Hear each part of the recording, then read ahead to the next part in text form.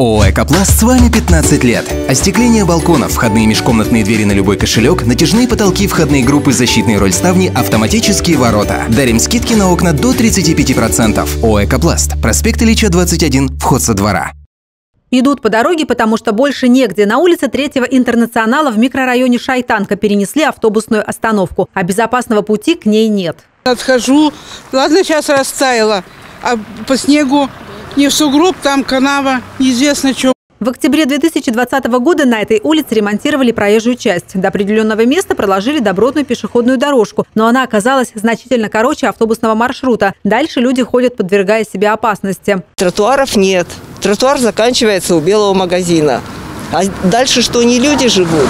Вот сейчас мы находимся на месте расположения, прежнего расположения остановки. Вот сейчас посмотрим, как мы вынуждены добираться до следующей остановки. Остановку перенесли примерно на 400 метров, но этого расстояния хватает, чтобы пощекотать нервы пешеходам. Если днем автомобильное движение на этом участке не так активно, то в час пик, говорят жители, ходить здесь практически невозможно. Основной контингент, контингент пассажиропотока нашего, особенно днем, это пенсионеры, школьники и мамы с детьми. Все. И все они ходят по дороге туда-сюда.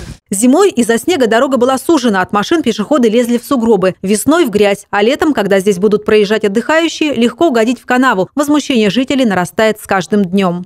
Вот примут пусть наши слова в действие. Была там остановка, там и надо ее ставить было.